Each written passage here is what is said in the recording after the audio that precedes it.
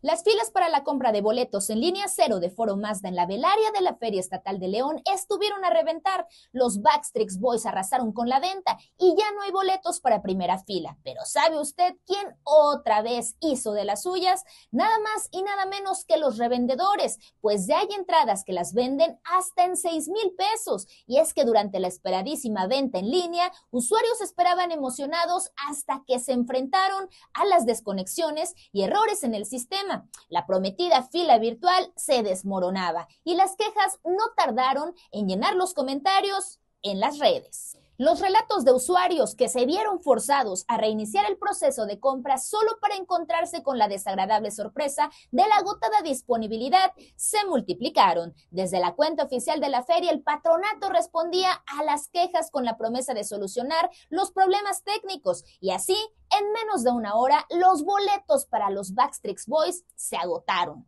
Ahora la polémica se ha desatado cuando las acusaciones de reventa comenzaron a circular en las redes sociales. La rápida agotación de boletos alimentaba la sospecha de que en algún lugar del ciberespacio revendedores ya habían asegurado su boletaje.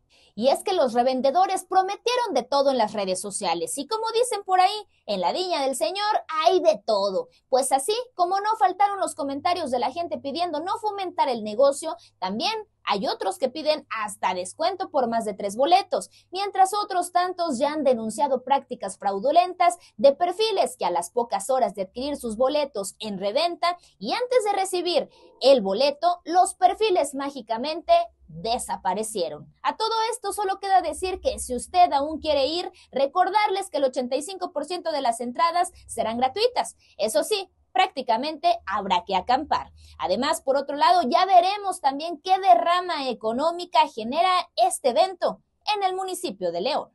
Yo soy Berenice Maldonado y lo espero de lunes a viernes en punto de las 3 de la tarde en la segunda emisión de Noticieros Expresa TV.